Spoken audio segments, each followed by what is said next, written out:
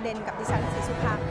นะคะ วันนี้เราจะไปติดตามข่าวฮือฮากรณีของคุณยายเทียบบุญเกตวัย 94 ปี ชาวจังหวัดอุดรธานีค่ะ ที่เสียชีวิตไปแล้ว แต่ปรากฏว่ามีกระแสข่าวนะคะว่าสัญญาณชีพหรือว่าชีพจรของคุณยายนั้นกลับเต้นขึ้นมาอีกครั้งหนึ่ง ผิวหนังที่เขียวคล้ำแข็งทื่อนั้นก็กลับมาอ่อนนุ่ม มีสีผิวเหมือนกับคนทั่วไป คล้าย ๆ กับคนที่นอนหลับอยู่ค่ะ เหตุการณ์ที่เกิดขึ้นก็ทำให้แขกเรือที่มาร่วมงานศพนั้นพากันตกตะลึงผสมกับหวาดกลัว แต่ว่าคนในครอบครัวเองนั้นก็เกิดความหวังขึ้นมาอีกครั้ง ว่าปาฏิหาริย์จะมีจริงค่ะ จอบประเด็นส่งทีมข่าวลงพิสูจน์ความจริงเรื่องนี้ รวมถึงจะไปดูกระแสข่าวที่มีสื่อบางสำนักนำเสนอไปก่อนหน้านี้ค่ะว่า คุณยายเทียบนั้นฟื้นคืนชีวิตขึ้นมาถึงขั้นมานั่งกินข้าวได้นั้น เป็นความจริงหรือไม่ วันนี้เราจะไปเจาะลึกกันนะคะ ทีมงานของเราก็เดินทางไปยังบ้านของผู้ตายก็คือคุณยายเทียบบุญเกตที่จังหวัดอุดรธานีค่ะ พบว่ากำลังจัดเตรียมงานศพอยู่ โดยมีป้าติ่ง ซึ่งเป็นลูกสาวเปิดใจ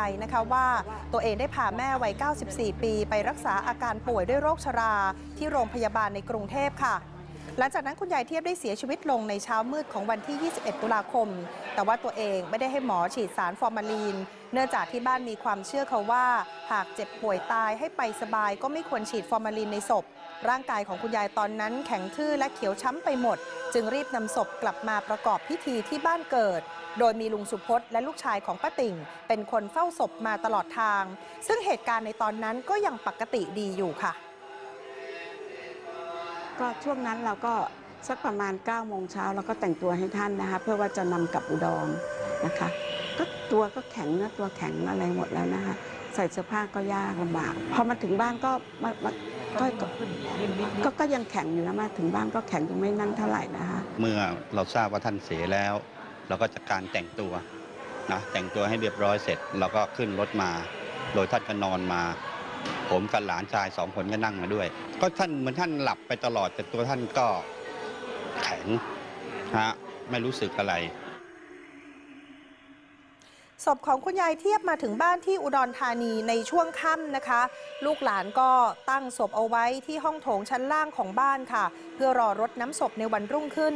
ระหว่างนั้นเนื้อตัวของคุณยายก็ยังแข็งทื่อแล้วก็เขียวช้ำอยู่ แต่ปรากฏว่าพอรุ่งเช้านะคะ ญาติพี่น้องทยอยมาสมทบ ลูกหลานบางคนเข้าไปกอดศพแล้วต้องตกตะลึง เพราะไปพบว่าร่างของคุณยายนั้นไม่เน่าไม่อืดแล้วไม่มีกลิ่นเหม็นทั้งๆที่ไม่ได้ฉีดฟอร์มาลีน ตรงกันข้ามค่ะ เนื้อตัวกลับอ่อนนิ่ม มีสีผิวเหมือนคนปกติ เมื่อจับดูตัวยังอุ่นๆ คล้ายคนนอนหลับ ด้วยอารมณ์ดีใจจึงพากันโทรศัพท์ตามแพทย์ให้มาช่วยยื้อชีวิตคุณยายอีกครั้งค่ะ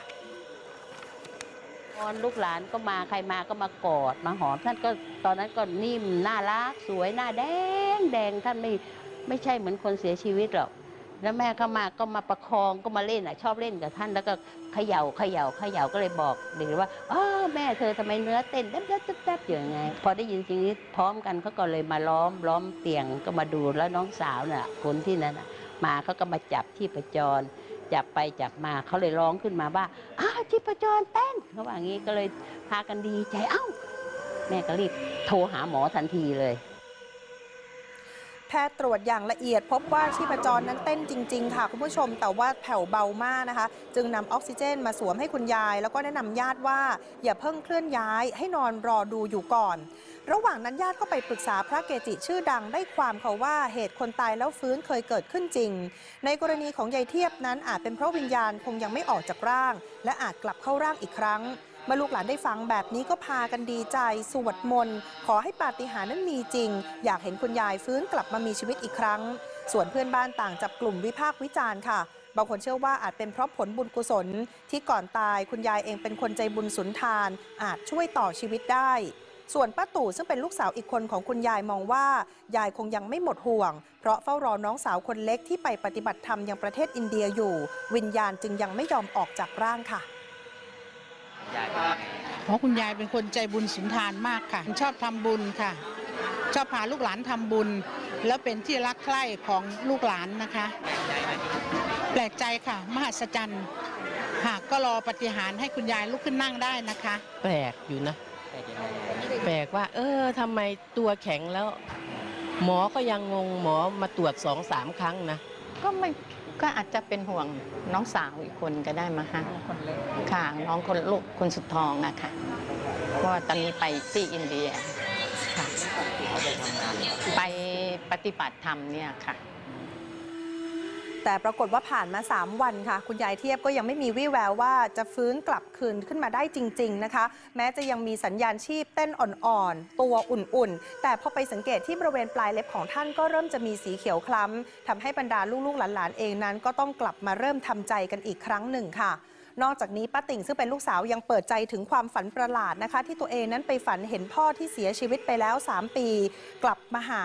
โดยเชื่อว่าพ่ออาจมารับแม่ไปอยู่ด้วย ลูกหลานก็ได้เริ่มทำใจแล้วก็ปรึกษากันนะคะว่า อยากให้คุณยายนั้นจากไปอย่างสงบป้าติ่งเองบอกว่าก่อนหน้านี้มีสื่อบางสำนักออกข่าวบิดเบือนความจริง สร้างภาพให้ญาติป้อนข้าวบีบนวดคุณยาย แล้วไปลงข่าวว่าคุณยายตายแล้วฟื้น ลุกขึ้นมานั่งกินข้าว คุยกับลูกหลาน แต่ความจริงแล้วแค่ญาติญาติตรวจพบว่าชีพจรคุณยายยังเต้นอ่อนๆอยู่ ครอบครัวก็เกรงว่าจะเสียชื่อเสียงวงตระกูล ไม่อยากให้คนเข้าใจผิด ซึ่งหลังจากเฝ้ารอมา 3 วันญาติญาติๆก็ได้ตั้งศพสวดพระอภิธรรมที่บ้านต่อ 7 วันค่ะไม่ครับชีพจรเต้นจริงจริงๆล้านเปอร์เซ็นต์ครับ แต่ท่านไม่ลุกขึ้นนั่งเราก็อยู่แล้วก็จับท่านอะไรเงี้ย แต่ไม่ได้ไม่ได้อุ้มขึ้นนั่งหรอกไม่มีก็รออยู่ แล้วก็รอเฝ้าสวดมนต์สวดพรให้ แค่ชีพจรอ่อนมากฮะไม่ไม่มีไม่มีไม่มีลุกนะ ไม่มีลุกขึ้นมามานั่งคุยกับญาติไม่มีไม่มีนะ